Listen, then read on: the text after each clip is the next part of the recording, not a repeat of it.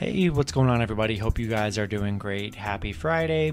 We got seven matchups on this NBA slate today, so go ahead and like and subscribe. Check out all my links in the description below. And uh, yeah, let's hop into it. We got seven matchups, starting with the Orlando Magic versus the Toronto Raptors. Raptors opening up as eight point favorites with the over under at 210. You can get the Raptors on the money line at minus 350, Orlando plus 280. The last 10 head to head, Toronto 10 and 0 against Orlando. That's pretty, kind of pretty crazy to me, honestly. Um, uh, Orlando 0 and 9 covering against Toronto, 1 and 11 in their last 12, 1 and 7 on the road. Toronto 6 and 0 covering at home against Orlando. Um, but neither team, you know, playing that great to start the season. I mean, both teams not playing the best. Um, pretty young teams. Uh, yeah, a lot of young teams on here. Uh, Orlando had that loss against Charlotte, 121 11. Then that 107 to 90 loss against Miami. Toronto did pick up that 118 to 100 win over Indiana. Um, but yeah, you know, I'm eight points. I know it's the Magic. Not really in, in love with this matchup here, but uh, I think I'm going to take the points with Orlando plus eight. Toronto's really been nothing special to be eight point favorites over anybody, honestly. I mean, they do have a win over Boston, but I mean, Boston's pretty bad to start this season. But losses over Dallas and Chicago, you know, Washington. Um, yeah, eight points is too much. As bad as the Magic are, give me the Magic plus eight here. Next match, the Indiana Pacers versus the Brooklyn Nets. Nets opening up as eight and a half point favorites with the over under at 223. The last 10 matchups head to head, both teams are 5 and 5. Um, Indiana 1 and 4 in their last 5 against Brooklyn. 1 and 4 covering the spread in those 5 games. Brooklyn 1 and 6 covering at home against Indiana two and five in their last seven. Yeah, you know, Brooklyn, I mean, they got stomped out by Miami. Didn't really look that great there. Brooklyn's been pretty spotty to start the season. I mean, I didn't think, I never would have thought they'd be two and three to start the season. Um, Pacers aren't really playing that good of basketball here. Um, coming off a loss of Toronto and Milwaukee. Yeah, you know, I picked Brooklyn to cover the spread last game against Miami, and that just didn't work here. I just think it's a different, a good statement game. Coming off that Miami loss, Pacers coming off a bad loss too. I just think Brooklyn's way more talented, and um, going to take Brooklyn minus eight and a half here. I think they're more of a money line play. I think should, they should be able to be able to handle this Pacers team. We've been seeing all season these. The NBA is absolutely insane. I mean, it is super hard to bet on. You have big favorites just outright losing. It's it's just it's just crazy. Like 10 point favorite teams just losing outright. Very tough. Uh, so that's why I do love any team I'm picking. I'm probably not even touching spreads on any picks that I do, honestly. I do strictly money lines and then I'll do teasers. But if I had to pick, we'll take Brooklyn minus 8.5. I could definitely see them having a statement game here, winning by like 15, 20 points. But uh, yeah, we're going to roll with Brooklyn here on both sides. Next matchup, we have the Los Angeles Clippers versus the Portland Trailblazers. Blazers Blazers opening up as two and a half point favorites with the over under at 223 and a half. You can get the Blazers on the money line at minus 145, the Clippers plus 125. The last 10 head to head Clippers 8 and 2, uh, 7 and 3 covering the spread in those 10. Clippers coming off that. I mean, they had that game against the against the Cavs. Clippers just got manhandled uh, against Cleveland. They were eight point favorites, and they could and they just they lost by what 13 points. I mean, man, this just the NBA is nuts. Uh, Portland had a nice win over Memphis. That was a good win for uh, Portland there.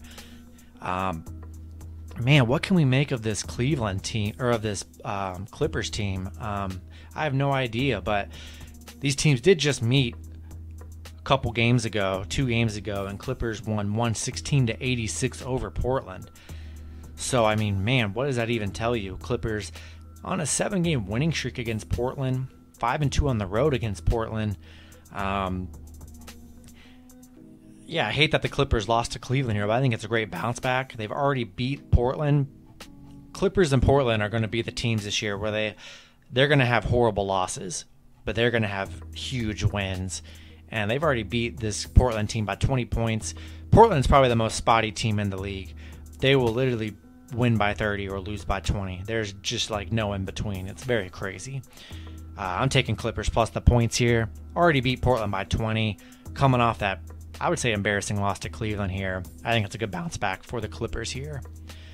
Next matchup, we have the Sacramento Kings versus the New Orleans Pelicans. Kings opening up as one and a half point favorites with the over under at 220. You can get the Kings on the money line at minus 130, Pelicans plus 110. Um, yeah, Sacramento coming off. I was watching the game live. They had the buzzer. They had the game-winning shot over Phoenix, 110 to 107 from Harrison Barnes. That was a crazy game. That was a game I live bet, and I had the Suns plus three and a half. So I snuck out with the greatest cover ever. So I'll take it. Pelicans, man, they've been pretty awful this season. I mean, hard to trust the Pelicans. They just look like a mess. Sacramento, I just think they have all the momentum going into this game. Coming off a game winner, they can score. I mean, Sacramento can score. Despite what their record might be this season, they can score with the best of them. They really do. They're a fast paced team. Uh, De'Aaron Fox, Barnes, Buddy Hield just wet a sniper from three. Um, yeah, Pelicans really don't have any options on offense besides Ingram, and Ingram hasn't been playing all that great. Give me the Kings on the small spread. We'll take them on the money line as well. All right, guys, next matchup we have the Charlotte Hornets versus the Miami Heat. Heat opening up as six point favorites with the over under at 221 and a half. The last 10 head to head, both teams 5 and 5. Charlotte 4 and 1 in their last 5. They have struggled against Miami a bit, just 5 and 10 in their last 15 against Miami. Uh, Miami uh, you know, 10 and 5 covering against the Eastern Conference. They have been able to cover Miami coming off that huge Brooklyn Nets win. Um, got a nice little two game winning streak going on, a little win over Orlando. And Charlotte coming off the 120 to 111 win over Orlando here. Um, yeah, t- two really good teams here. Charlotte, what a surprise Charlotte's been the start of the season, playing really good basketball. Um, yeah, you know, I think I like Charlotte plus the points here. I mean, both teams have been playing really good here. Um, six points against this good Charlotte team. I think that's too many points. I'm going to take Charlotte plus the points in this matchup. Next matchup, we have the Dallas Mavericks versus the Denver Nuggets. Nuggets opening up as one and a half point favorites with the over under at 220 and a half. The last 10 head to head, both teams 5 and 5.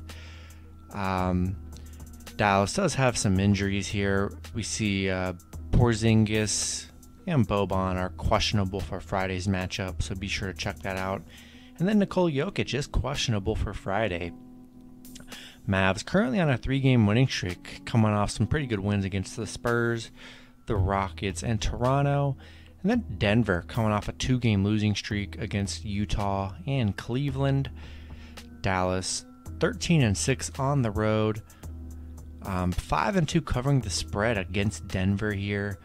Uh, Denver struggling right now. 1 and 6 covering at home against Dallas. 1 and 7 covering in their last 8 overall. Yeah, you know, give me Dallas plus the points here, just plus the point and a half. Um, Dallas has been playing really good on a three game winning streak. Denver, you know, got that two game losing streak.